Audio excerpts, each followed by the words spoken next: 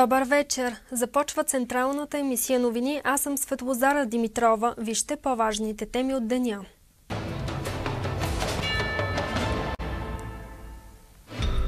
Има ли опасност от заболявания по растенията?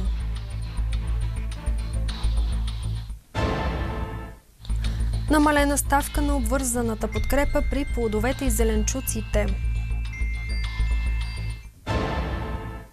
И още, пазарът на земеделска земя у нас е спокоен.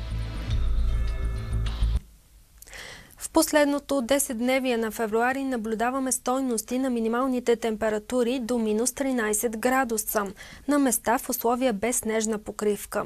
По-продължително задържане на тези стойности представлява опасност за пшеницата и ячемика в фазите първи до трети лист, както и за посевите с рапица, които не формираха розетка заради есеното засушаване. В района на Лодогорието няма опасност от разораване или пропадане на площи заради измръзнали посеви. Категорична е Мариела Йорданова от Националната асоциация на зърнопроизводителите. В момента текат агротехнически мероприятия на полето. За сега опасност при есениците не виждаме. За разлика от много други части в страната, положението в Лодогорието не е толкова драматично. Има и по-лоши посеви, но като цяло състоянието на пшениците и на рапиците е добро. Тури се е усилено.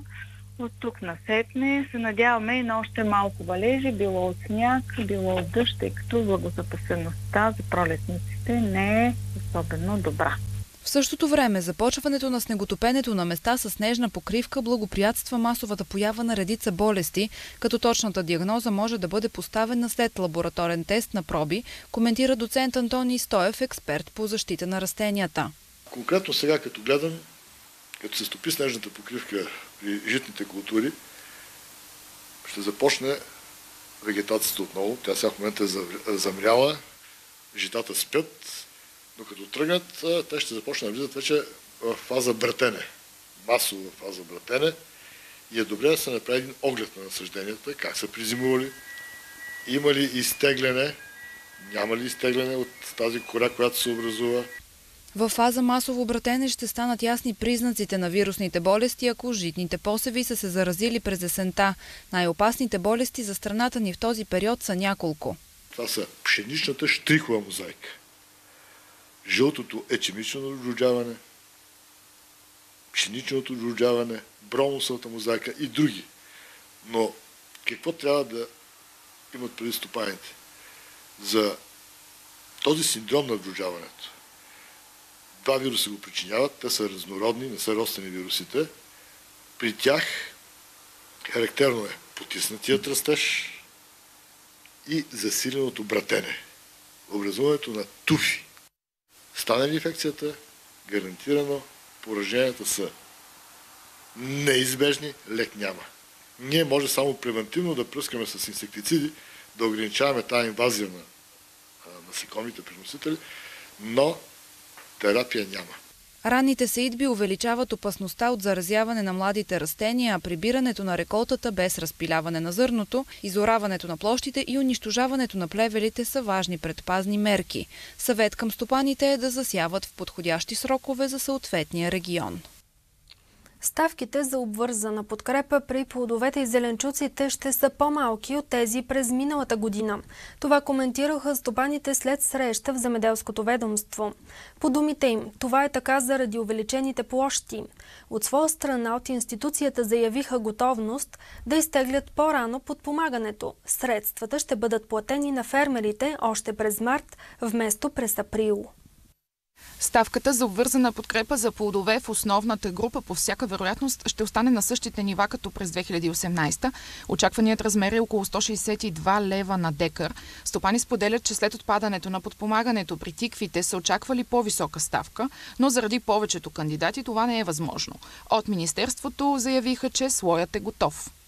Сега те първа Министерството почва да обследва фактури, касови бележки, приемо-предавателни протоколи, кантарни бележки. От тук нататък ще има проверки върху част от тези документи. Нали, визирам най-вече кантарните бележки, приемо-предавателните протоколи. Това е по наше искане и като казвам наше, нямам предвид само на асоциацията, която която представлявам аз, а по искане на целия бранш плодове и зеленчуци, защото там според нас има имаше проби в системата. Докъде е спрян, нали, ще коментираме. Нормално е ставката да не е като миналогодишната, защото имаме увеличение в площите ще се разпределят между 75 и 80 милиона лева. След разговори с бранша, целта на Министерството е да има по-голяма справедливост за покриване на еднакъв относителен дял от разходите за производството на различните видове, конкретно при зеленчуците. В началото на схемата субсидията е била около 192 лева на декар.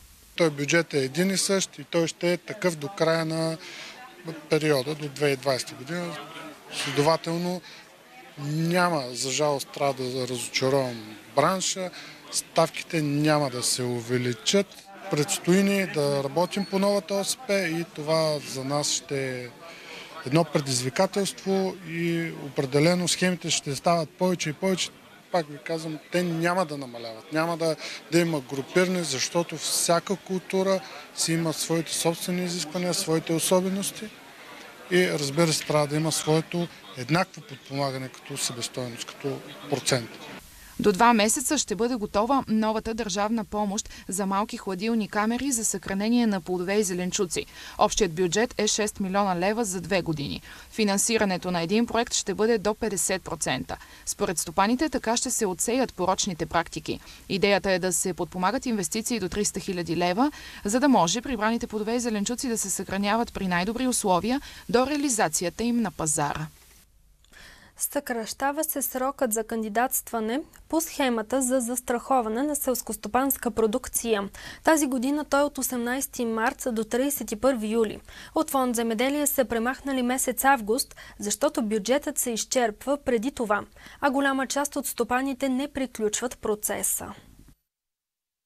Експерт от Земеделското министерство разясни схемите за плодове и зеленчуци по време на семинар иновативни решения и политики за развитие на сектор плодове и зеленчуци, който беше организиран от Националния съюз на градинарите в Пловдив. Стана ясно, че бюджетът за държавната помощ е милиони и половина лева, а от него се освояват едва милиони 200 хиляди лева от 350 стопани. Които, знаете, само по себе си, това е малко число. В последния месец август обикновено бюджета не достига. Предприемат се действия за увеличаването му, но в крайна сметка толкова голяма част от фермерите не завършват процеса и става едно, така да го нарека, планиране, което не може да осигури в максимална степен подпомагане за фермерите. Затова срокът тази година за кандидатстване е съкратен с един месец. Максималният размер на подкрепата, която може да получи един земеделски стопанин е до 65% от стоеността на застрахователната премия. Сумата за подпомагане е до 195 лева на хектар при размер на застрахователната премия от 300 лева на хектар. Важно е да се знае, че на подпомагане подлежат полици, издадени след подаване на заявление за кандидатстване. До 31 август ще бъдат дните в, срока, в който ще се подадат документите в фонд земеделие. И до 20 дни фонд земеделие има задължение да изплати а, по сметките на фермерите Целта на помощта е насърчаването на земеделски стопани, малки и средни предприятия, които произвеждат плодове, зеленчуци, етерично-маслени култури и тютюн доброволно да застраховат продукцията срещу неблагоприятни климатични събития. А картофопроизводителите ще получат милиони 600 хиляди лева за борба с вредителите. Кандидатстват от 11 март до 15 май. От подкрепата могат да се възползват малки и средни предприятия, земеделски стопани, които отглеждат картофи на площи с размер над 1 декар. По схемата ще се компенсират разходи само за разрешените у нас препарати за химичен контрол на почвени вредители по картофите от семейство телени червей. От миналата година е нотифицирана нова държавна помощ за прилагане на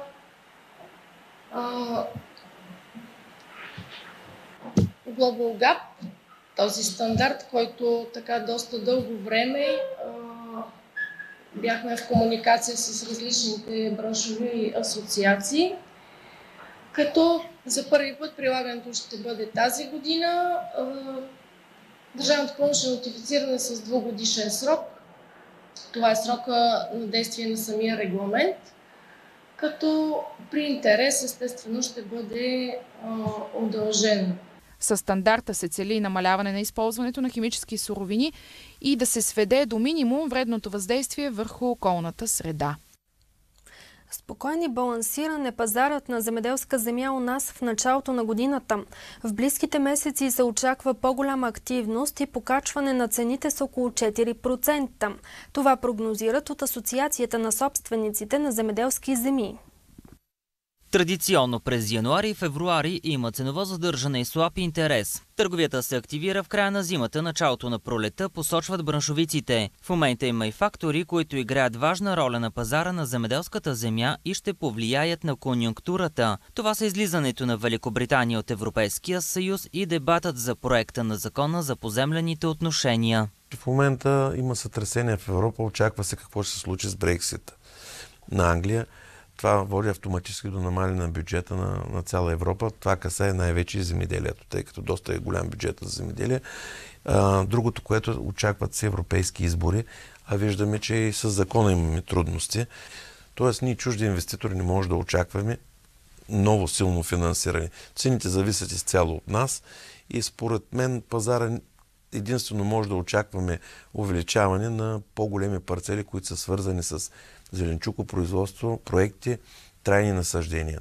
Тоест по 100-200 и нагоре, които са много по-малко и където има поливно, предпоставки за поливно земеделие. Неяснотите относно Брекзит ще се отразят и на цените на земеделските земи, но по-слабо в България смятат от браншовата асоциация. Оттам допълват, че у нас има устойчиво повишение на общите ценови равнища, а земята за земеделие следва хода на инфлацията. Ето и какви са цените. За Южна България средната стоеност е около, можем да фиксираме около 900 лева. За Северна, тъй като имаме малко по-слаби райони и много силен район в Добрич и Силистра, около 1200 лева за Северна България. Говорим за ниви, за полски култури.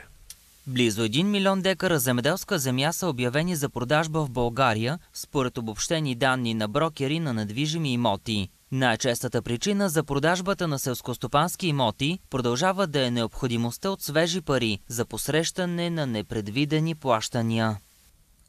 Вие сте с централната емисия новини. Ето какво ще видите още.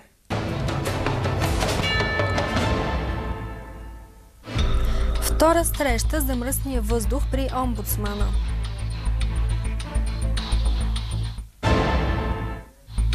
Спазват ли се правилата в сектор Био?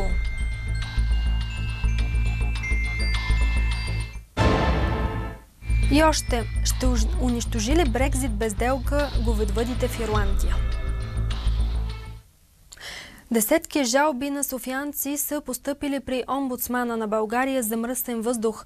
Основно оплакванията са от кварталите – Красна поляна, Овче купел, Западен парк и Надежда. Темата беше обсъдена на втора среща между гражданите и отговорните институции. По международен проект в София до края на годината ще бъдат монтирани 25 станции с сензори, които ще измерват фини прахови частици и газове. Предстои да бъдат сключени договори за доставка, монтаж и изграждане на софтуер за тях. Част от съоръженията ще бъдат разположени в проблемните райони, в които има констатирано замърсяване на въздуха. Голяма част от тях са разположени до големи транспортни възли в на територията на столична община, изключително натоварени кръстовища, също така и в силно застроени градски зони, именно за да можем да следиме нивото на замърсителите, което ще се отчита на всеки 30 секунди може да бъде програмирано и ще получаваме много данни, които ще бъдат обработвани в машинно четим формат в една отворена платформа, която предстои също да бъде разработена. Данните от системата ще бъдат публични. По проекта ще се създаде и мобилно приложение, от което всеки гражданин ще може да следи за качеството на въздуха. Проблемът се задълбочава и от изгарянето на отпадъци от всякакъв тип. Законодателството към настоящия етап, това мисля, че е ясно на всички, не позволява нашите инспектори от столичен инспекторат да навлизат в частна собственост в домовете на гражданите, да констатират и да съставят актове за нерегламентирано изгаряне. По този повод сме инициирали също и промяна на законодателството в тази посока, именно и криминиране на тази дейност – Извършени са 500 проверки от инспекторите на столична община през този отоплителен сезон по сигнали на граждани и жалби. Нарушенията са за изгаряне на отпадъчни материали. Граждани и неправителствени организации обаче остро критикуват мерките на столична община, защото реален ефект за по-чист въздух няма. По думите им много често се усеща замърсен въздух в кварталите, което носи здравословни проблеми за тях и децата им. Столичани са на мнение, че е необходима изцяло нова политика и строг контрол върху чистотата на въздуха. Хората посочиха, че не вярват на мерки, а искат резултати и чист въздух. Както вече ви съобщихме, поредна среща на биопроизводителите се проведе в Пловдив. Причината – текстовете от важната за сектора наредба 5. Диалозите по темата продължават, а едни от основните притеснения на бранша са дали се спазват правилата и ефективен ли е контролът. Срещаме Петко Ангелов на един от поредните семинари на биосектора, който отново е на кръстопът. Той се занимава с биопроизводство от 10 години, основно на едрозърнест лимец. Според него в момента биосекторът е настръхнал с причина. Някога, когато започвахме производството на, на биопродукция, бяхме много малко и имам чувството, че контролът тогава беше много перфектен. Контролиращите органи бяха 3-4 и бяха много стрикни, докато сега в момента се увеличи доста. Те и самите оператори се увеличиха много, може би някъде над 5-6 хиляди производители, производители различни и може би малко критериите започнаха така да не ми, да не ми харесват, особено у някои сертифициращи органи. По думите му, сертифициращите органи предварително трябва да правят почвените анализи, а не в края на преходния период. Очакванията са критериите за биопроизводство дори да се завишат след 2021 година, особено за спазването на буферна зона между конвенционално и биопроизводство. Лично аз това нещо го одобрявам като биопроизводител. А не само това, че се намирам в източните Родопи и там по редица причини природата е относително запазена и не се са ползвали до сега толкова хербициди, пестициди изобщо. От тази гледна точка малко сме облагодетелствани, мога да кажа. Очакват ни много трудни две години тук до 21 Лимецът е сухоустойчиво есено растение с производствен цикъл от една година. Добивате 120-130 до 150 кг. Бедните почви и ниската влага са подходящи за отглеждането на лимеца. Към Европа. Брекзит без делка ще унищожи сектор говедовътство в Ирландия, който и в момента е в криза. Това смята президентът на Ирландския земеделски съюз Джо Хили. На среща с депутати и сенатори в Дъблин Хили посочи, че загубите за бранша ще бъдат в размер на около 800 милиона евро годишно, ако Великобритания започне да облага ирландското говеждо месо с мита според правилата на Световната търговска организация. Затова президентът на Земеделския съюз призова ирландският агроминистър и Европейската комисия да съставят специален пакет от помощи за фермерите.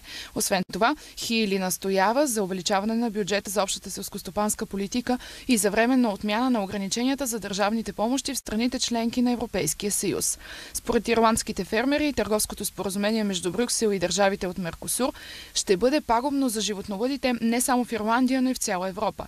В Ирландия секторът и в момента е в криза, посочи Хили и цитира изследване, което показва, че през миналата година приходите на стопаните са се стопили с 16% до средно 12 800 евро.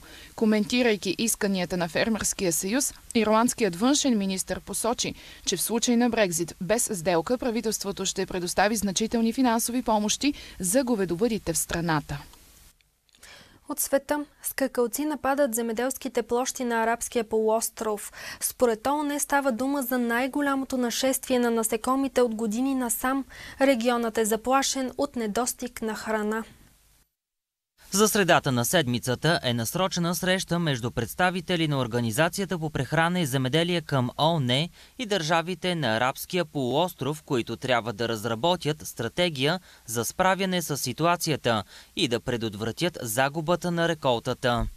Всяка година милиони скакалци нападат полуострова, идвайки от Африка през Червено море. Веднъж на няколко години се стига до голямо размножаване на насекомите, които оставят след себе си опустошени земеделски площи. Таз годишните рояци са вследствие на обилните дъждове в Еритрея и Судан. Благодарение на влагата, растенията в тези страни се развиват много добре и дават богата храна за скакалците. Така само от началото на годината се е стигнало до два размножителни цикъла. Голяма част от новоизлюпилите се скакалци отлитат на север към поречието на Нил в Египет и оттам в търсене на храна на изток към Арабския полуостров. Междувременно са стигнали до Саудитска Арабия и Южен Иран. Според ФАО, тази годишната напаст представлява опасност и за по-отдалечени региони в Азия, като Пакистан и Индия. Един пустинен скакалец изяжда едва 2 грама храна на ден. В един оряк обаче има няколко милиона скакалци,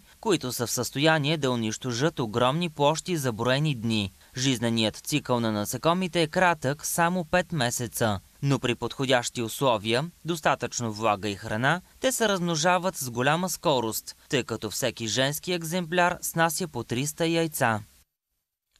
Повече от хиляда северни елена са станали жертва на браконьери в Русия, алармират мести, местни природозащитници.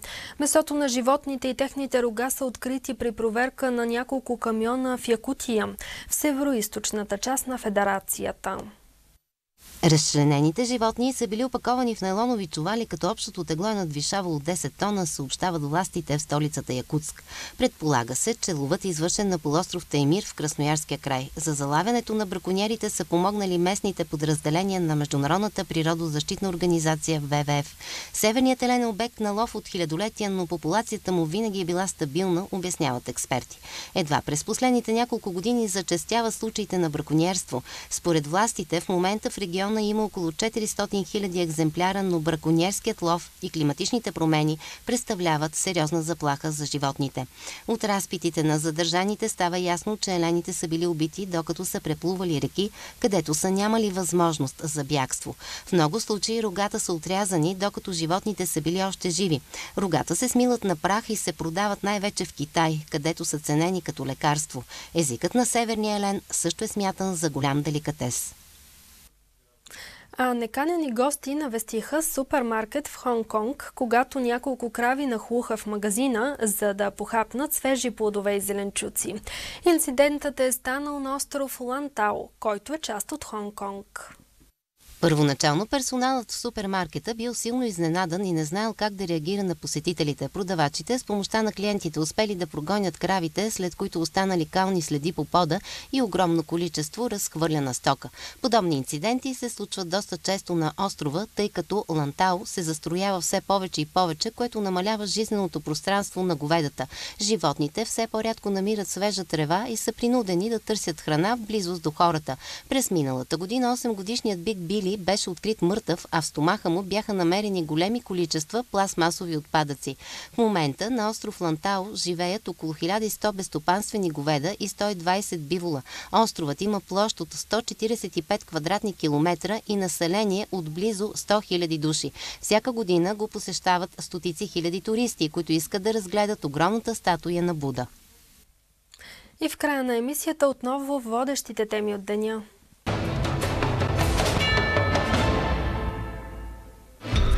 Има ли опасност от заболявания по растенията?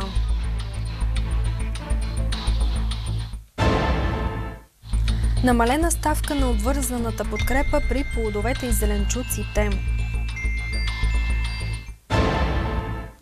И още, пазарът на земеделска земя у нас е спокоен. Това беше по-важното от днешния 25 февруари. Късните новини са в 22 часа и 30 минути. Приятна и спокойна вечер. Вижте всичко важно в новините на Агро ТВ на всеки кръгъл час.